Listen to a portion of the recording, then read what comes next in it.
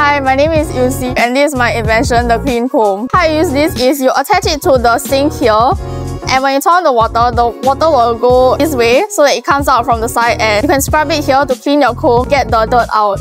Hi, I'm Ethan. Invented this Pyramid Perfect Aligner as a guide to help NCC cadets align their badges to their uniforms, lessens the occurrence of them having to always repin their badges.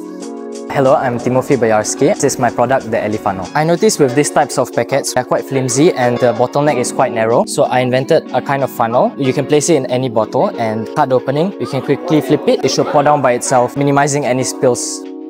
Hi, I'm Pratyush and this is my invention, the drill. It's a drill dust collector. How it works is put this on the wall, align it with the hole, put a drill bit and cover it. Then once you're done drilling, all the dust will fall inside here. You go to the dustbin, open it and it'll fall out.